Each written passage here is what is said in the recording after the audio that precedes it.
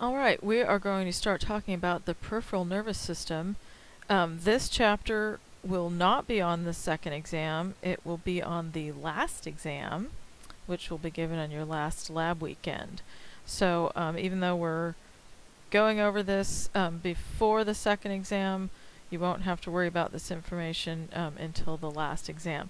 So hopefully um, we'll make this short and sweet. The peripheral nerve system is um, not as complex as some of the other systems we've talked about. Um, so hopefully you'll be it'll be a relief reading through this chapter.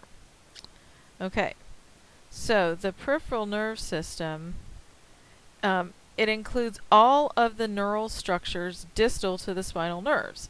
So it includes axons of sensory motor and autonomic neurons, um, along with all the sensory endings and everything that we've talked about, and the entire postganglionic um, autonomic neurons. The, the, all of that forms the peripheral nervous system. So um, all the different nerves that we talked about in kinesiology, innervating the individual muscles, the median nerve and the ulnar nerve and um, the obturator nerve and uh, sciatic nerve, all those are part of the um, peripheral nerves. Um, the autonomic nervous system axons are also included in the peripheral nervous system. So there's a nice picture in the book where it shows the division between the peripheral and the central nervous systems. Um, so basically, the central nervous system, we've talked about this before, it's anything that's encased in bone. So um, this picture shows the spinal column, um, the nerves going in and out of the dorsal and um, uh, dorsal horn and uh, the ventral horn, and um, everything to the left of the dotted line in this picture is peripheral. Everything to the right of the dotted line is central. Um, so that's just to clarify that. So um, this is another nifty little picture from the book um, that shows the all the things we've talked about: the dorsal root ganglion, the um, the dorsal root, the ventral root. Um, so when after it goes outside of the vertebrae, um, it's the nerve root splits off into a dorsal ramus and a ventral ramus, um, also known as posterior for the dorsal and anterior for the ventral. Um, so the um, axons in the posterior rami innervate the paravertebral muscles, posterior parts of the vertebrae, and the overlying cutaneous areas. Axons in the anterior or um, ventral rami innervate the skeletal, muscular, and cutaneous areas of the limbs and the anterior and lateral trunk. So, um, when we start talking about peripheral nerve lesions, they produce signs and symptoms in a peripheral nerve distribution. Um, spinal lesions produce signs and symptoms in a myotomal or dermatomal distribution. So the chart, the dermatome chart that we've looked at over and over again, one half of the body is represented in dermatome distributions, the other half is represented in peripheral nerve distributions. So part of the way that um, neurologists and physical therapists distinguish between a central um, a, or a spinal region lesion versus a peripheral nerve lesion is the the distribution of symptoms. So is it in a peripheral nerve distribution or is it a myotomal or dermatomal distribution? So um, there's this really, really, really long 49 minute uh, lecture on the peripheral nervous system. You really don't have to watch it unless you're just dying for more auditory input. You don't have anything else to do, you're bored out of your mind, and you got to listen to this lecture. Or you just want more detail. So maybe um, you listen to it at the end of the quarter after you've done everything and you just want more detail. But that's not required, but it's there for you if you want it. So um, we're going to just start to talk about the anatomy of the peripheral nerves. So peripheral nerves themselves, they consist of parallel bundles of axons that are surrounded by three connective tissue sheaths. And I would like you to know the definition of these sheaths and um, what they surround. So the endoneurium separates individual axons. So each individual axon has an endoneurium around it, also known as the nerve sheath. And the perineurium surrounds bundles of axons, which are also known as fascicles. And the epineurium encloses the entire nerve trunk. So, um, if you're looking, if you go to a, cadaver lab and you're looking at the sciatic nerve, which is huge, um, the sheath around that whole big nerve is the epineurium. Okay?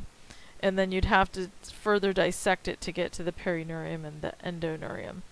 So um, there's this lovely um, picture in the book, cross section of um, peripheral nerves. It shows three fascicles. So the perineurium is around each of those three fascicles. Um, the little small, tiny little black circles, those are the endoneurium, and then the epineurium is around the whole thing. All three of those guys. Okay?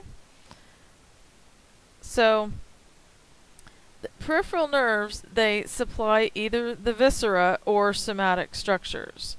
So, um, somatic peripheral nerves, like when we talk about the um, musculocutaneous nerve and the median nerve and everything, they're usually mixed, including sensory, autonomic, and motor axons.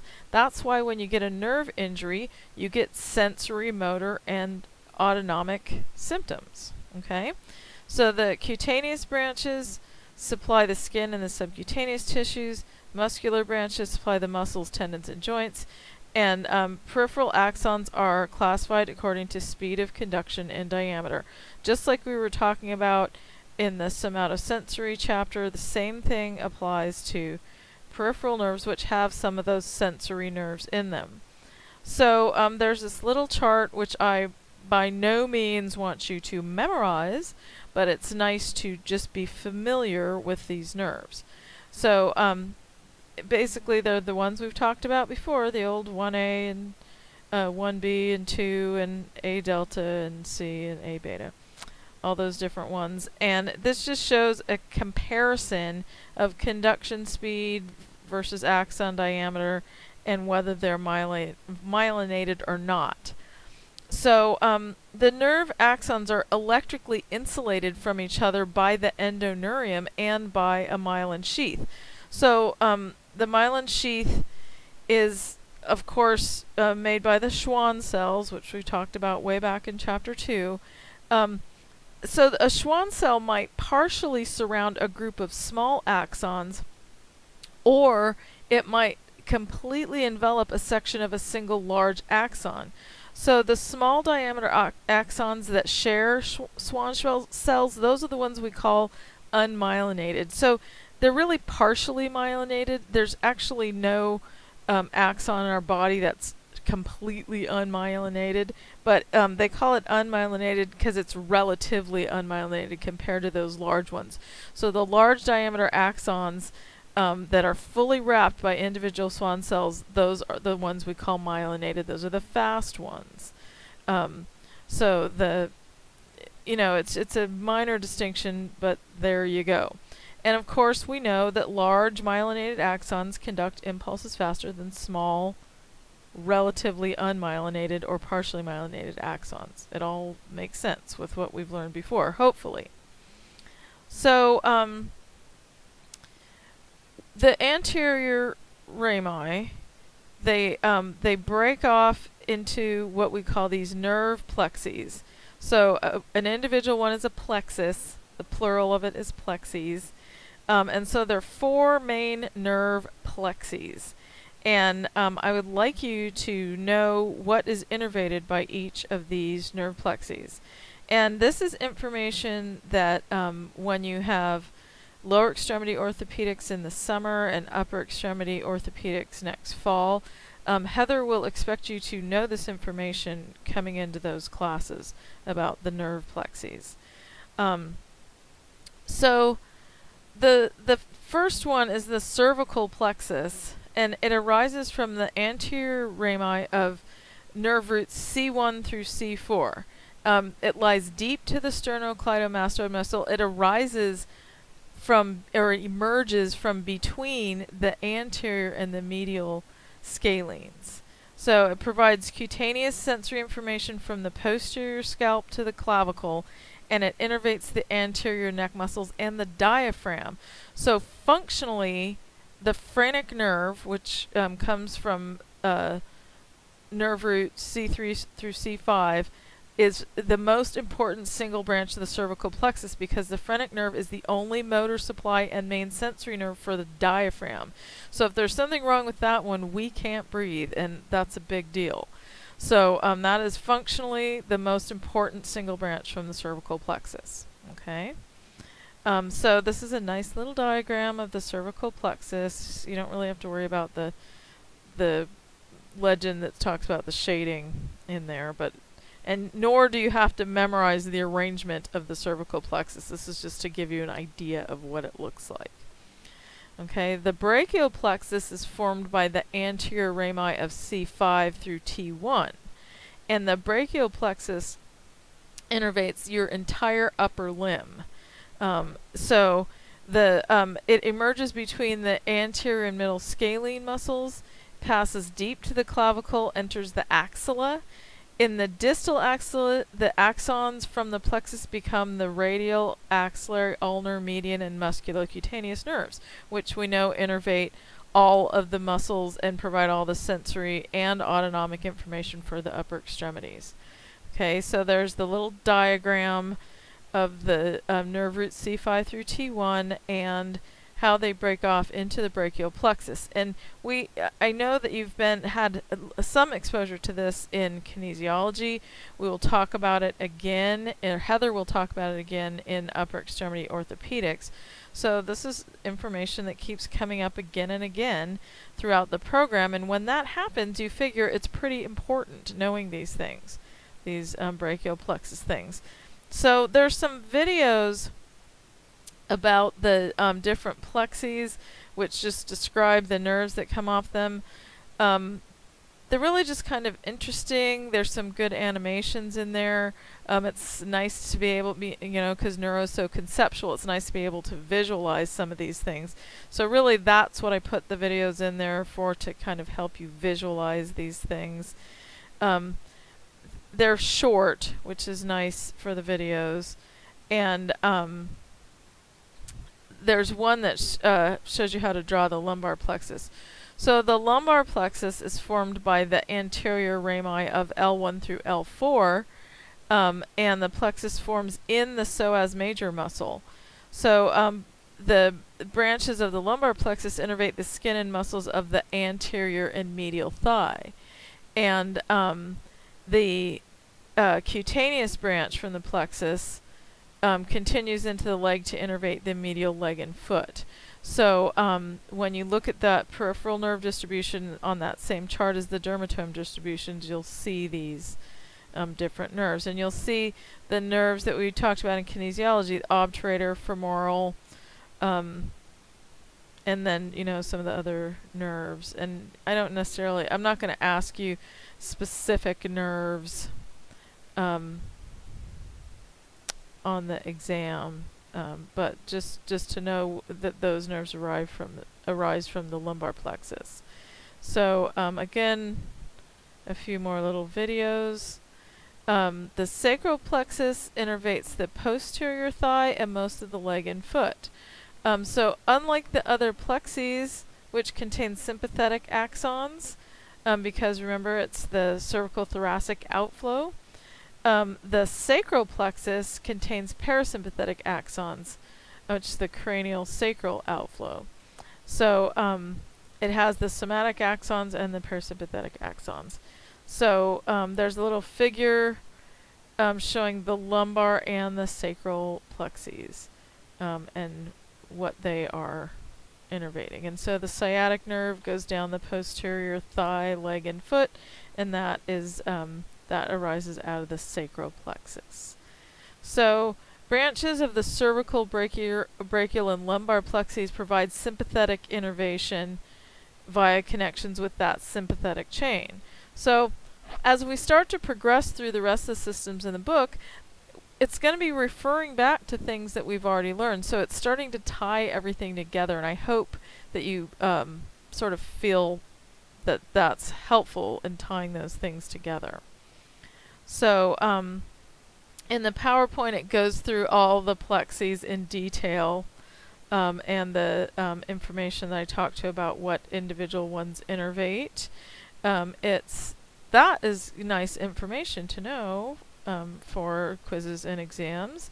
What is innervated by the different plexes? Okay, so um, movement is really important in nerve health because it um, promotes blood flow through the nerves and the flow of the axoplasm through the axons, um, and it causes it to be thinner and flow more easily. Um, so movement is um, a lot of times if you're immobilized, um, it compromises your nerve health and you can have some paresthesias or some other nerve symptoms. So um, movement is, you know, of course we're all pro movement. Um, there's a little um, just talking about the mobility characteristics of nerves. You know, of course we move and our nerves have to be able to move and stretch and the fascicles have to glide within the nerves and the nerves glide relative to other structures. Um, and so the connective tissues around the nerves um, help support the changes in length during the movements. So one of the things that comes up a lot with injuries is nerve tension um, and do you have too much nerve tension and how can you change that. So the the one assignment this week is talking about nerve tension positions. So all of the videos on this page in the module about mobility characteristics shows nerve glide positions and nerve mobility exercises for all these different nerves. So um, what I ask you to do in the assignment is to take one of these positions and find um, a functional position where you might be putting that nerve on stretch. Um, for example, if you lie with your um, on your back with your hand underneath your head, um, and you might be putting the ulnar nerve on stretch. And so maybe you're you're lying back on bed reading with your hand behind your head, and then you get some ulnar nerve symptoms, some tingling in that ulnar nerve distribution. So um, I just want you to pick one of those um, nerve tension positions and uh, link it to a functional activity. So um, that's kind of interesting. And it, we do a lot in physical therapy. We do a lot with nerve mobility after an injury. Um, we might teach someone how to do a nerve glide. Um, and um, there are a lot of different neurodynamic exercises which you will learn in um, lower extremity and upper extremity orthopedics this summer and fall. So um, now that we talked about kind of the structure of nerves, we're going to talk about um, nerve dysfunction. So, um, you know, that's that's how we usually do things here. Uh, we're going to talk a little more about the um, neuromuscular junction, um, but we'll talk about it a little bit later. And it's nothing new that we haven't talked about before, but we're just going to review it again um, because we're it's part of the peripheral nerve system. So um, when you have peripheral nerve damage, you get sensory, autonomic, and motor changes because the peripheral nerves carry sensory, autonomic, and motor fibers. So um, all of the signs are in a peripheral nerve distribution, so they're not going to be in a dermatomal distribution. Um, they'll be with like a spinal lesion or a central nervous system lesion might be. They will be in peripheral nerve lesion. That's one of the ways you can distinguish between a central problem and a peripheral problem. So with sensory changes, they can include um, decreased or lost sensation. That makes sense. So, for example, after a surgery where they make the incision, um, you might have some areas that feel numb. So that's the decreased or lost sensation. And remember the abnormal sensations that we talked about in chapter 7 and 8, the hyperalgesia where it's ultrasensitive, dysesthesia, which is um, pain, uh, painful, abnormal sensation, paresthesia, which is abnormal, and the dysesthesias are like the um, electrical or uh, ting- you know tingling or zapping sensations. The paresthesias are the um, non-painful abnormal sensations, and the allodynia is the um, things that are normally not painful then become painful. So those sensory changes can uh, happen with peripheral injuries. So um, autonomic changes can happen and they depend on whether one or more axons are affected. So if it's a single nerve, um, usually you only get autonomic changes if the nerve is completely severed.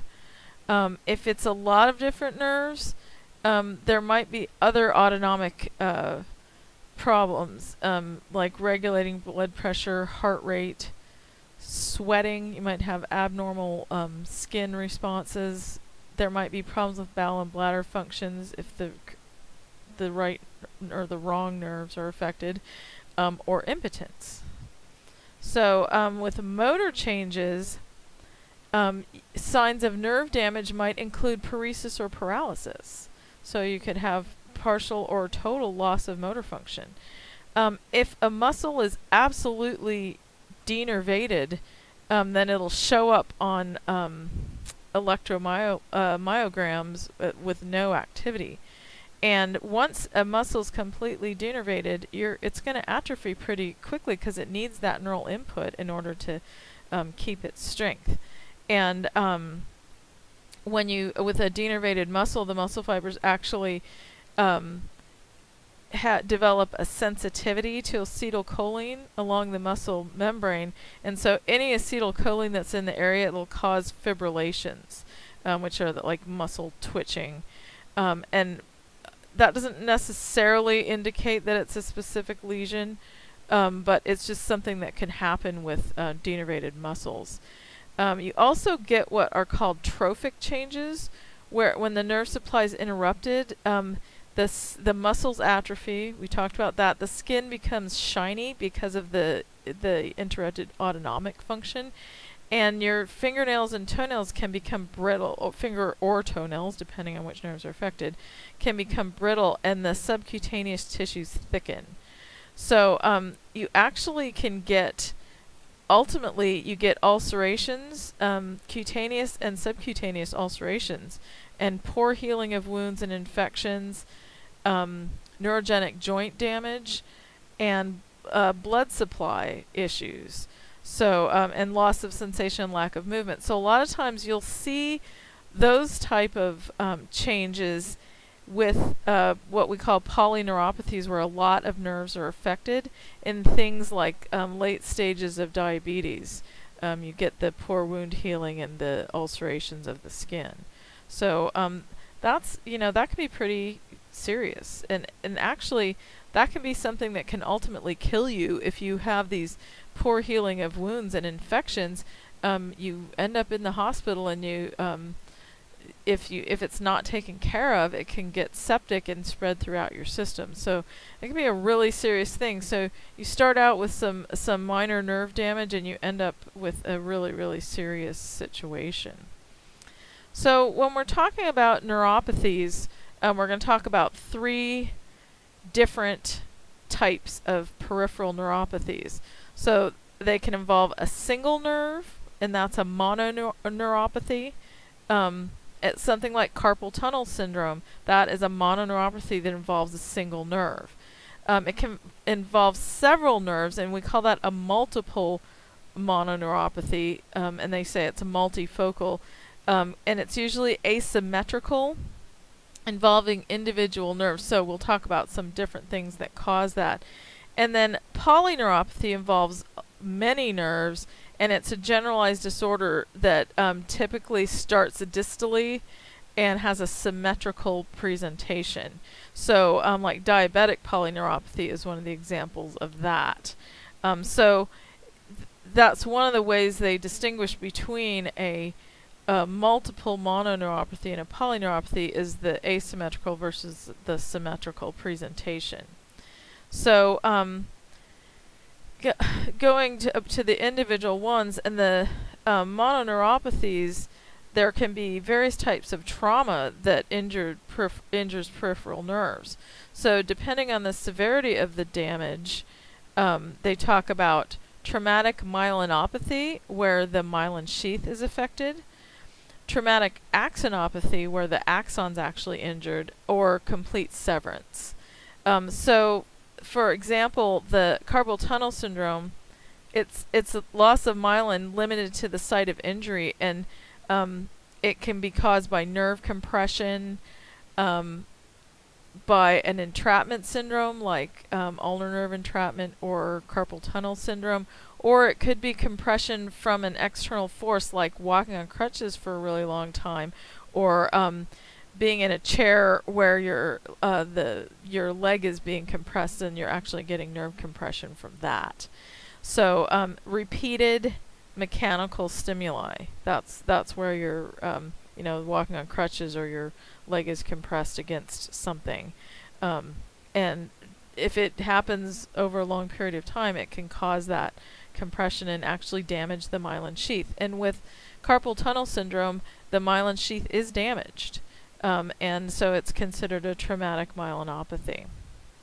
So there are some little um, uh, micro electro electron microscope pictures of traumatic myelinopathies um, where you can um, see. And if you look at these in the book, um, it's figure 12-7, uh, and um, you can see them a little bit better than on here. And it just shows um, first the first one is normal myelin, and you can see the um, the little nodes of Ranvier there, are one node in that picture.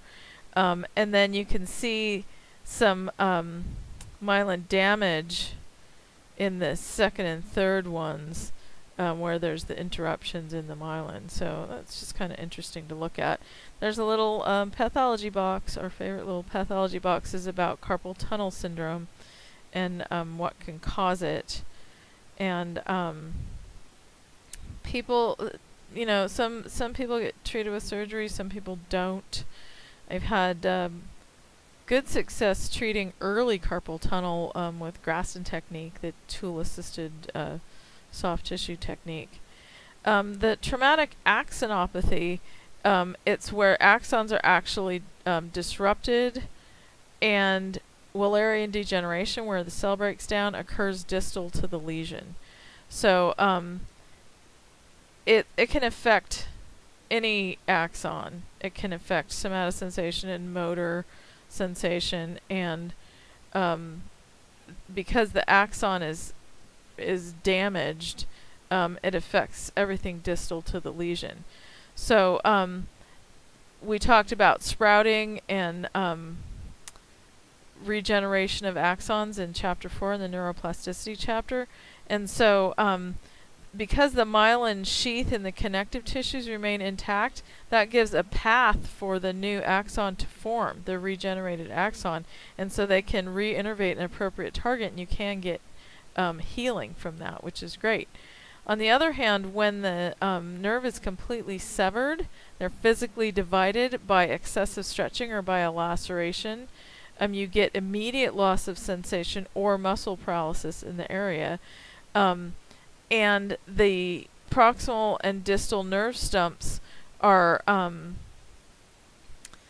some of them can if it depends on how close they are if they say if they're apposed a p p o s e d um, and there's not too much scarring the sprouts can enter the distal stump and and reattach to the target tissue um, if they're too far away from each other or there's too much scarring, then it, it won't happen. You won't get regeneration. So um, with multiple mononeuropathies, it involves two or more nerves in different parts of the body. So a lot of times it is a um, vasculitis. It's an inflammatory process. Um, um, so inflammatory processes, the uh, vascular system's inflamed uh, with vasculitis and um, individual nerves are producing like a random asymmetrical presentation. Um, with polyneuropathies, the absolutely symmetrical involvement of sensory motor and autonomic fibers. It often goes from distal to proximal. They'll talk about a um, sock and glove presentation where it, it, it that's the uh, pattern of the presentation. So the symptoms will typically begin in the feet, and then they can go in the hands, and then um, the feet and the hands are the areas that are supplied by the longest axons, and so those are the ones that are affected first.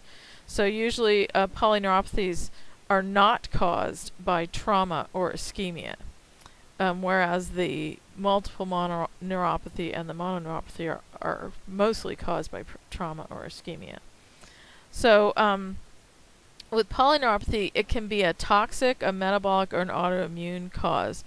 So, um, most commonly, it's caused by uh, diabetes or nutritional deficiencies secondary to other issues like alcoholism um, or autoimmune diseases, um, like Guillain Barre is a polyneuropathy.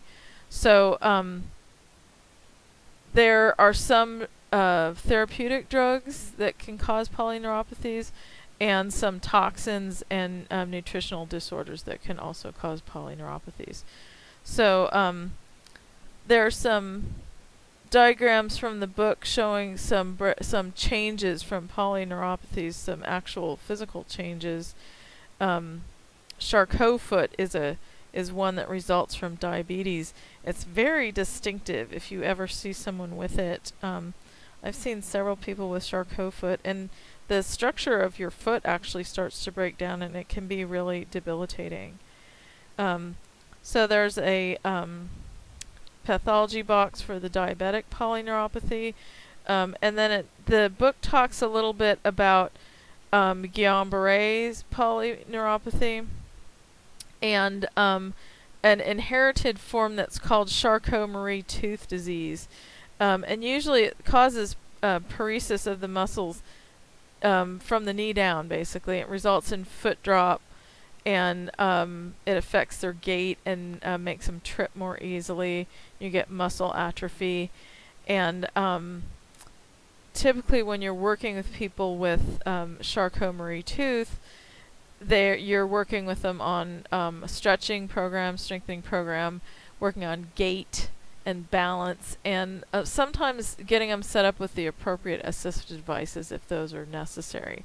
And I've worked with um, two or three people with um, CMT, and it's a pretty interesting disease process. So um, there's a little uh, section in the book with dysfunction of, of the neuromuscular junction. We talked about myasthenia gravis in the um, in chapter two or in chapter three, um, with the it's an autoimmune disease that affects the acetylcholine receptors at the neuromuscular junction. So repeated use of the muscle, you get increased weakness. So muscles that you use a lot, like postural muscles or things like your eyes, um, can really be affected with myasthenia gravis. Um, botulism, which is a toxic process, causes similar effects, which is pretty interesting. Um, there's a little talk in the book and in the um, module in Canvas about how um, botulinum uh, toxin Botox is used therapeutically to um, inhibit hyperactive muscles. So a lot of times it's with um, CNS lesions like a stroke or CP and um, it actually inhibits the uh, muscles so that increased weakness um, actually becomes an advantage when you're using it therapeutically. So it's kind of interesting. So um, myopathies are disorders that are just to muscles, not to the nervous system.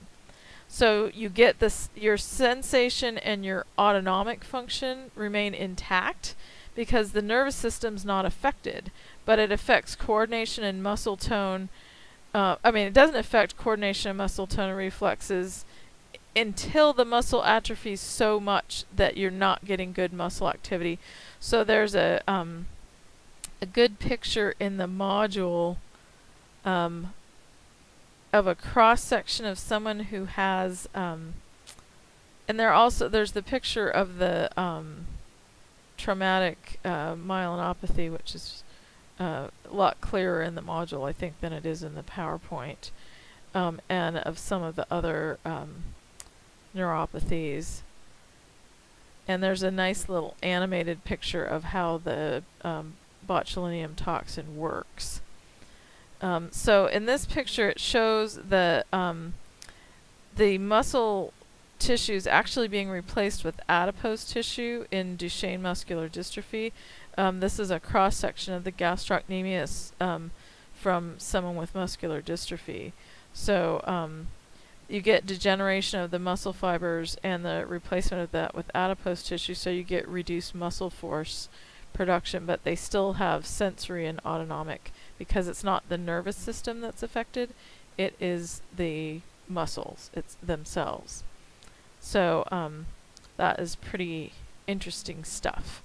I don't I don't think I'm going to put anything about myopathies on the exam, but um, it's just uh, it's just another um, thing that comes up when you're talking about the um, the peripheral nerve system. So in uh, neuro rehab class with Jamie next quarter, you will talk about um, mus Duchenne muscular dystrophy and other forms of muscular dystrophy in the context of uh, pediatric treatment. So um, the assignment this week is um, on nerve tension. So you're going to find an everyday activity or position that mimics one of those nerve tension positions. So if you take a look at those videos um, and find one of those that um, mimics a, an everyday activity, um, and it might be something that might aggravate a patient's nerve symptoms. So we're just going to explore that a little bit. It's kind of fun. I, I put some examples of um, things that students from previous classes have posted just so you kind of get an idea of what I'm looking for.